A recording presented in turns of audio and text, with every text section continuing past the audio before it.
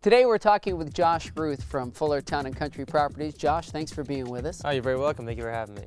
When you started out, you were listing and selling homes like every other realtor out there, but now you've kind of morphed into a new area of you're like the foreclosure guy in Fuller Towne and Country. Well, I still do my regular business, you know, regular sellers and buyers.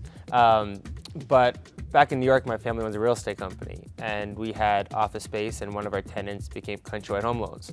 So throughout the process of negotiating the lease and whatnot, um, their in-house broker asked me if it's something I'd be interested in looking into. So I said, sure, didn't think much of it. Um, came back to Denver and started looking through the, the MLS and noticed there's quite a few of them. So I got in touch with the Countrywide lender that I use for most of my, you know, my buyers and um, she kind of got me set up and, and went from there. Is it hard working in this end of the business? I mean, some realtors are saying to themselves, geez, you know, you're working with people who are getting kicked out of their house or they've been kicked out of your house. I mean, what's it been like? Um, not that bad, honestly. I don't come in until after that whole process is done with, so I'm not involved in any of the, you know, the legal matters or, or evictions for the most part. Um, and I just kind of separate it. I look at it as a corporate-owned property that's owned by a bank or a corporation, and they hire me to sell it. You know, the other thought is is that you're, you know, you're driving in depressed areas of town and you're seeing some really dilapidated, you know, beat up properties. Is that all true?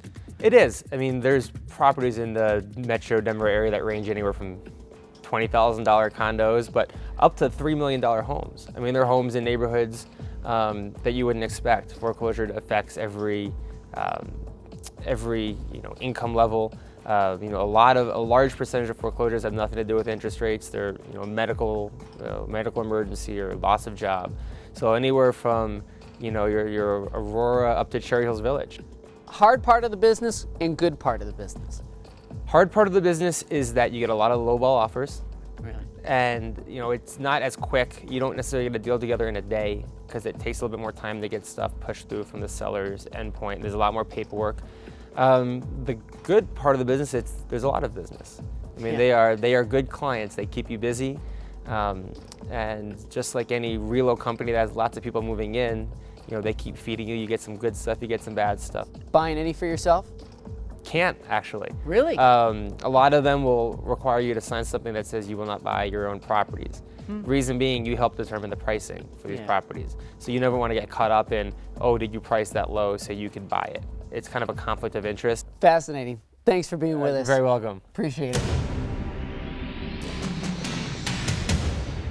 Find more real estate videos at brokeriptv.com.